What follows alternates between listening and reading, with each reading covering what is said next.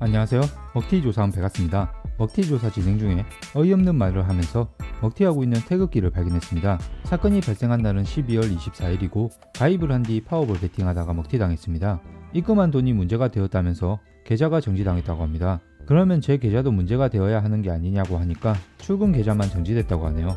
은행 업무 보고 문제 없으면 환전 처리해준다고 하면서 3일을 기다리게 만들고 똑같은 말만 되풀이합니다. 계좌에 아무런 문제가 없는데 문제가 있다면 환전 미루는 곳입니다. 지금은 고객센터 연락조차 받지 않네요. 태극기는 회원님께서 환전 신청하자 계좌가 정지되어 환전이 불가능하다고 합니다. 더 어처구니 없는 것은 회원님이 입금한 뒤 계좌가 정지되었다고 그 탓을 회원님께 돌리며 은행 업무를 보고 이상이 없다면 환전을 해주겠다는 이상한 말만 하고 있으며 회원님께서 입금한 금액이 문제가 되어 계좌가 정지가 되었다면 회원님 계좌도 정지가 되어야 하는 게 정상이라고 판단이 됩니다.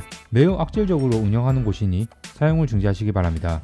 먹튀 사이트 정보를 더 알고 싶으시다면 구글에 베가스.com 검색하신 뒤 확인하시고 다른 업체에서 먹튀를 당하셨다면 베가스 커뮤니티로 먹튀 제보하시기 바랍니다. 제일 처음 제보를 하시는 분에게 소정의 선물을 드리고 허위 제보한다면 영구 탈퇴 대상이 되니 진실만 말씀해 주시기 바랍니다. 저희 베가스는 먹튀 사이트가 사라지는 그날까지 먹튀 조사를 이어나가겠습니다. 지금까지 베가스였습니다. 감사합니다.